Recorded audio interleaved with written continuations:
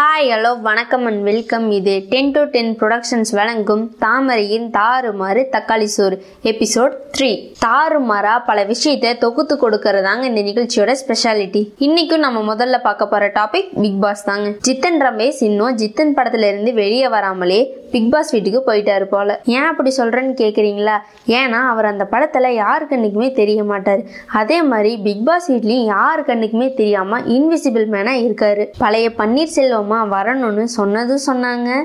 Kamal sir மாதிரி எந்த பன்னீர்செல்வம் நீங்களும் கேட்காதீங்க. ஆமாங்க நம்ம மொட்டை தாத்தா தாங்க. பழைய பன்னீர்செல்வமா வர சொன்னா ரொம்ப பழைய பன்னீர்செல்வமா வந்திருக்காருங்க. ஆமாங்க அவர் குழந்தை பருவத்துக்கே போயிட்டாரு போலங்க. சின்ன சின்ன விஷயத்துக்கெல்லாம் ஓவரா அடம் பிடிச்சிட்டு இருக்காருங்க. அப்பப்ப கேபியை விட சின்ன குழந்தையா மாதிரி கேபி கிட்டே சண்டை போடுறாருங்க. போன வாரம் சோமுவை காணும்னு சொன்னோம் ஆனா இந்த வாரம் திருவிழால காணாம போன குழந்தை திரும்ப கிடைச்சு கையில பொம்மையை வச்சு விளையாண்டுட்டு இருக்கிற மாதிரி அவரு கையில ஏதோ ஒண்ணு வச்சு தட்டிட்டு இருக்காருங்க. யாரு மனசை திறக்கணும்னு இப்படி தட்டிட்டு இருக்காரோ ஏசுநாதர் சொன்ன மாதிரி தட்டுங்கள் திறக்கப்படுங்கிறத மனசுல வச்சிட்டு இருக்காரு போல. ஜோக்ஸ் அப்பார்ட் ஃபர்ஸ்ட் டைம் ஒரு சீரியஸான மேட்டரை பத்தி பேசணும்னு நினைக்கிறோம். விஜய் டிவி பாலா சிவானி போஷனை ஏதோ லவ் போர்ஷன் மாதிரி காமிச்சிட்டு இருக்கீங்க ஆனா தேர்ஸ்டே எபிசோட பார்த்தா பாலா அர்ச்சனா கிட்ட அந்த மாதிரி எதுவும் இல்லை அப்படின்னு சொல்லிட்டு இருக்காரு பட் உங்க ப்ரோமோல அவங்கள காமிக்கும் போது லவ் சாங்ஸா போடுறீங்க. ஒருவேளை நீங்க அவங்கள தப்பா ப்ரொஜெக்ட் பண்ண பாக்குறீங்களா? ஏன்னா அவங்க மோஸ்ட்லி க்ளோஸா உட்காந்து பேசும்போது அவங்க வாய்ஸ் வர்றதில்ல.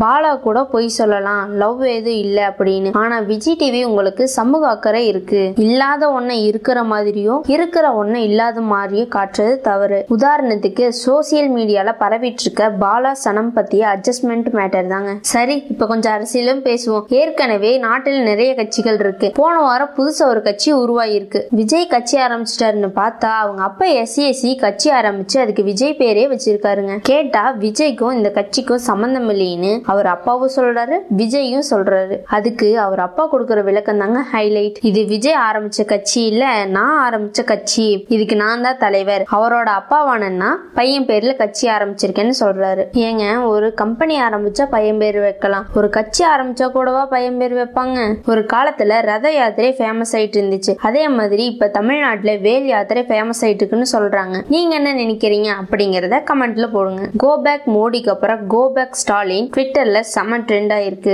என்னதாங்க நடக்குது அமெரிக்காவில்? பிரசிடென்ட் எலெக்ஷன் ரிசல்ட்ல இந்தியால தர கொரோனா கவுண்ட் மாதிரி நம்பகத்தன்மையே இல்லாத மாதிரி இருக்கு. அநேகமா தலைவன் ட்ரம்ப் எல்லா கோட்டையும் அழிச்சிட்டு முதல்ல இருந்து கோடு போடுங்க அப்படின்னு சொல்ற மாதிரி மறுபடியும் எலெக்ஷன் வைங்கன்னு சொன்னாலும் சொல்லுவாரோ? இது வரைக்கும் சன் டிவி சீரியல் டைட்டில் தான் ஓரளவுக்கு பரவாயில்லையே இருந்துச்சு. ஏன்னா கதைகள் யூனிக்கா இல்லைனாலும் டைட்டில் யூனிக்கா இருந்துச்சு. இப்ப இவங்களும் கழுத தேஞ்சு கட்டெரும்பான கதையா விஜய் டிவி ஜி தமிழ் மாதிரி சினிமா டைட்டில்ஸை சீரியலுக்கு வச்சிருக்காங்க.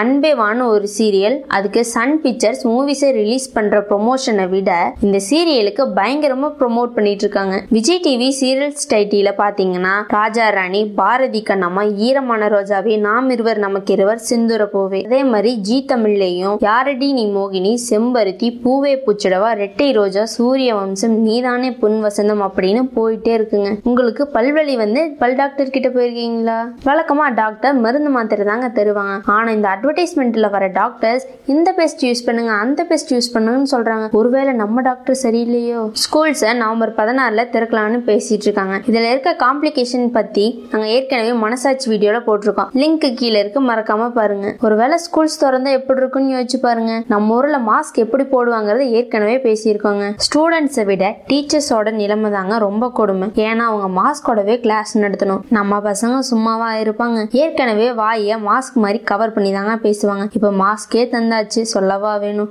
அதுலயும் சில எல்கேஜி ரவுடிஸ் வேணும்னே இரும்புவாங்க மூச்சு விடுற மாதிரி சிரமப்படுவாங்க. இதெல்லாம் எப்படிதான் சமாளிக்க போறாங்களோ நம்ம டீச்சர்ஸ் பாவம். இந்த லாக்டவுன் காலத்துல மதுப்பிரியர்கள் ரொம்ப கஷ்டப்பட்டாங்க. ஆனா இப்ப அதோட சந்தோஷமா இருக்காங்க. குடிச்சிட்டு வண்டியில வரும்போது போலீஸ் நிறுத்தி ஊதுன்னு சொல்ல மாட்டாங்க. ஏன்னா கொரோனா வந்துருன்னு பயம் இருக்கும்ல. இப்ப நிகழ்ச்சியோட கடைசி பகுதிக்கு வந்துட்டோங்க. அதுதான் தாங்க ஒரு குட்டி ஸ்டோரி தாமஸ் ஆல்வா எடிசன் ஸ்கூல்ல அவங்க டீச்சர் ஒரு லெட்டர் தராங்க. இதை வந்து உங்க அம்மாட்ட மட்டும் கொடுன்னு சொல்றாங்க. அதே மாதிரி அவரும் அவங்க அம்மாட்ட மட்டும் தராங்க. அந்த லெட்டரை எடுத்துட்டு போய் அவங்க அம்மா கிட்ட தராரு. அந்த லெட்டர் பார்த்தோன்னு அவங்க அம்மா கண்ணு கலங்கிருச்சு. அதை சத்தமா படிக்கிறாங்க. உங்கள் மகன் ஒரு மேதை. இந்த பள்ளி அவனுடைய திறமைக்கு சிறியது. எங்களிடம் தகுதியான ஆசிரியர்கள் இல்லை. எனவே அவனுக்கு நீங்களே கற்றுக் கொடுக்கவும். அதே மாதிரி அவங்க அம்மாவே அவருக்கு கற்றுக் கொடுக்குறாங்க. கொஞ்சம் வருஷம் கழிச்சு அவங்க அம்மா இறந்துடுறாங்க. எடிசனும் ஒரு விஞ்ஞானி ஆயிட்டாரு. ஒரு நாள் வீடு கிளீன் பண்ணிட்டு இருக்கும்போது அந்த லெட்டர் ஒரு டேபிள் மேல இருக்குது. அதை எடுக்கிறாரு. எடுத்து படிக்கும்போது உங்கள் மகன் ஒரு மனநலம் பாதிக்கப்பட்ட சிறுவன். இனிமேல் அவனை பள்ளிக்கு அனுப்ப வேண்டாம் அப்படின்னு இருந்தது. அதை படிச்சுட்டு அவங்க அம்மாவை நினைச்சு ஃபீல் பண்ணி அழுவுறாரு. அவர் டைரி எடுத்து இந்த மாதிரி எழுதுறாரு. தாமஸ் ஆல்வா எடிசன் ஒரு மனநலம் பாதிக்கப்பட்ட சிறுவன். சக்தி வாய்ந்த தாயால் விஞ்ஞானி ஆக்கப்பட்டான் உலகத்துல தாயை விட பெரிய சக்தி எதுவுமே இல்லை. இந்த நிகழ்ச்சி உங்களுக்கு பிடிச்சிருக்குன்னு நம்புறோம்.